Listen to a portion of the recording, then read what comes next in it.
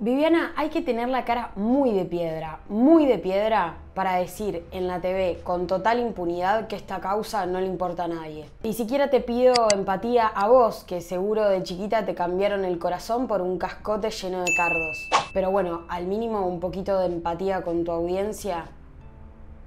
Respeto, no sé, algo de eso. Ahora pensaba, mientras escuchaba a Mauricio Macri, Así como lo decía el otro día con el tipejo ese de las piedras pisando la memoria de nuestros muertos, hay que ser muy hijo de puta. Y perdonen que diga hijo de puta, para joder con una tragedia como era la San Juan, que finalmente a esta altura creo que no le importa a nadie.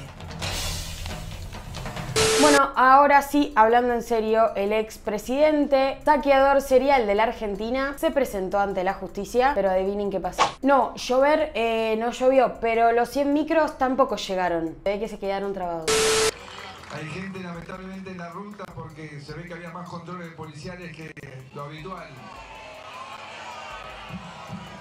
siempre con estas maldades. Pasando en limpio, además de no ir nadie a Dolores, incluso Lilita Carrió porque hacía como 40 grados, el expresidente tampoco declaró. ¿Qué pasó? El fiscal de Dolores, Juan Pablo Curi, fue funcional a la estrategia de Mauricio Macri y acompañó el pedido de que se lo releve de guardar secretos de Estado para poder declarar. Pero aclaremos algo importante, Macri no necesitaba el relevo de secreto de Estado para arrancar la indagatoria. La razón es simple. En la indagatoria le leen los delitos de los que está acusado y puede negarse a declarar y punto. Fin de la indagatoria. El juez podía preguntarle a Macri por cuestiones que no son secreto de Estado y Macri podía negarse a responder. Nada que ver con el relevo del secreto de Estado. Pero eso no es todo. La interventora de la AFI, Cristina Camaño, le contestó al juez Baba el 6 de octubre, hace tres semanas, que Macri no necesitaba el relevo y que podía declarar sin poner en riesgo la seguridad nacional. El show de siempre, amiguites, nada que nos sorprenda. Ahora, Mauri,